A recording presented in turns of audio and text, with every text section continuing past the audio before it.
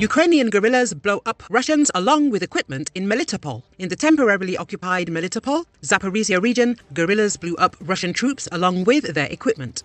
The enemy vehicle and four invaders were destroyed, according to the Defense Intelligence of Ukraine. On January the 14th, 2024, a powerful explosion occurred on Hohol Street in the temporarily occupied Melitopol.